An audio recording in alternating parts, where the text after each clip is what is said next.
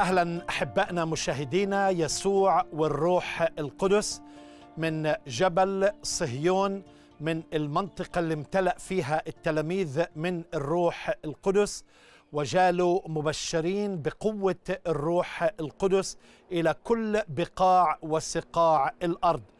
قال يسوع المسيح للتلاميذ خير لكم أن أنطلق حتى يرسل الروح المعزي.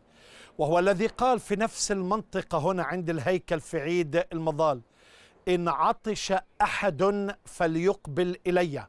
فإذا حتى نمتلئ من الروح القدس لازم يكون في طاعة لازم يكون في رغبة لازم يكون في عطش وجوع وطلب للروح القدس. لأن الرسول بطرس قال لأن الموعد هو لكم ولأولادكم ولكل الذين يأتون عن بعد. فعندما تأتي إلى المسيح يسكن الروح القدس حياتك. وعندما تريد أن تمتلئ أكثر الرب يزيد عطش وجوع روحي حتى تمتلئ أكثر وأكثر لأن الرسول بولس قال امتلئوا من الروح. وكلمة امتلئ يعني استمر في هذا الملء. حتى نستطيع مواجهة هذا العالم. ولكن دعوة المسيح إن عطش أحد فليقبل إلي. ودعوة الروح القدس ودعوة الكنيسة الروح والعروس يقولان تعال إن عطش أحد فل فليقبل وليأخذ ماء حياة مجانا. والرب يسوع قال للمرأة السامرية كل من يشرب من هذا الماء يعطش أيضا ولكن من يشرب من الماء الذي أنا أعطيه ينبع من داخله. أنهار أنهار مياه حية. بيتكلم عن الروح القدس. وأيضا إن عطش أحد فليقبل إلي. بيتكلم عن الروح القدس. أنا بصلي من كل قلبي لكل المؤمنين اللي بيسمعوني. يمكن عم تشعر بنشاف بجفاف بسلوك جسدي بفشل بهزيمة بعار بعدم القوة بالضعف. بتشعر إنه حياتك ما إلها نفع لا إلها قيمة ولا تأثير ولا فاعلية. أنا بدعوك الآن إلى التوبة إنك تتوب للرب.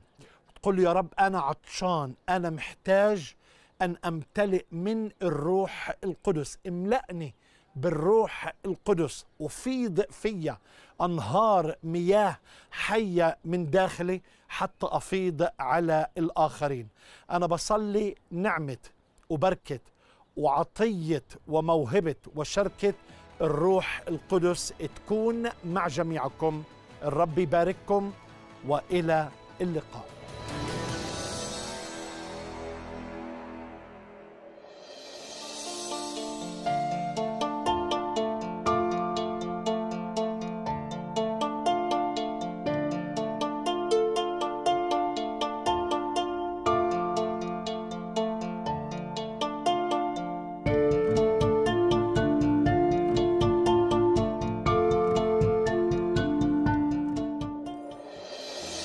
من جبل الزيتون أورشليم القدس. أنا بدعوكم تشاهدوا سلسلة جديدة من البرامج بعنوان يسوع.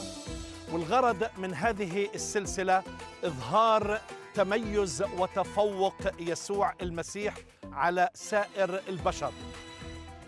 وليه عم بعملها في هذه الأوقات؟